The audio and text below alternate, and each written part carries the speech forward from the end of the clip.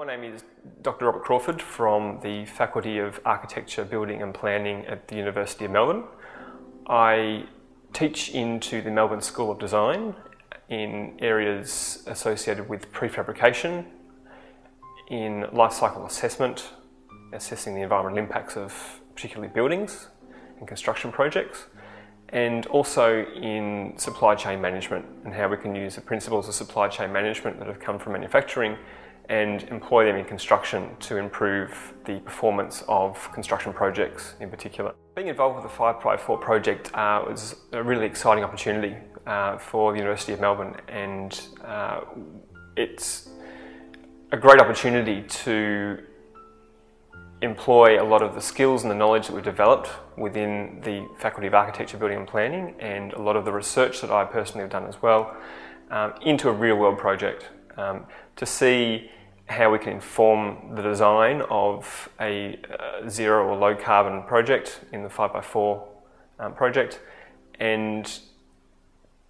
use the knowledge gained from that to further improve and develop the, the, the methods and the tools and the knowledge that we've already got uh, within the university. What I'll be doing is scrutinising the materials that are used or specified um, for use in the 5x4 project and we'll be looking at opportunities for minimising the carbon and energy input into this project as much as we possibly can so that we can minimise not only the um, energy that's being used to operate the building um, but also and just as importantly minimise the energy and carbon that's gone into constructing the building um, from the initial stages of it. Within this project, we're going to be using uh, one of the most sophisticated and comprehensive assessment techniques for quantifying embodied energy and emissions. And that's typically known as uh, an input-output based hybrid uh, assessment approach. It basically combines industry data um, for energy consumption of particular materials. Um, so how much energy is being used within a particular manufacturing plant to produce steel, concrete or timber or whatever it might be and we combine that data with economic data. Um, that economic data um, covers the entire economy. So it tells us how much um, energy or, or, emissions have gone into or been released as a result of um, the transfer or the, the um, purchase of goods and services between each sector of the economy. Uh, so we can emerge that data, which is systemically complete. It covers the whole economy um, with industry specific data, which is obviously much more specific to the particular materials and products that we're uh, looking at.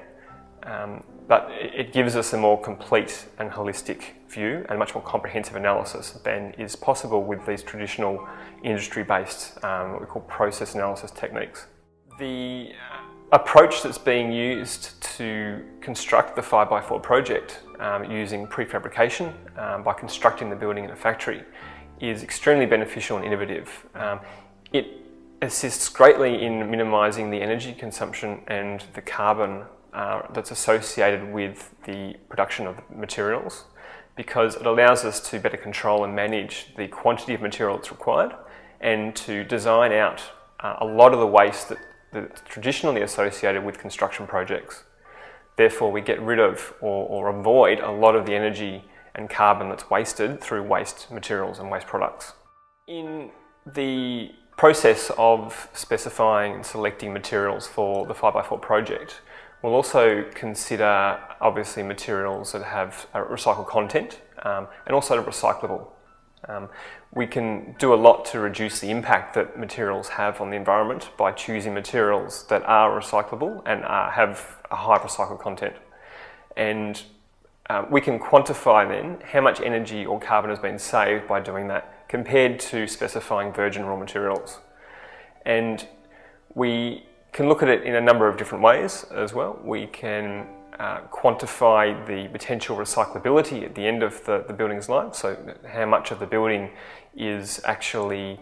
um, recyclable. Uh, and we can also look at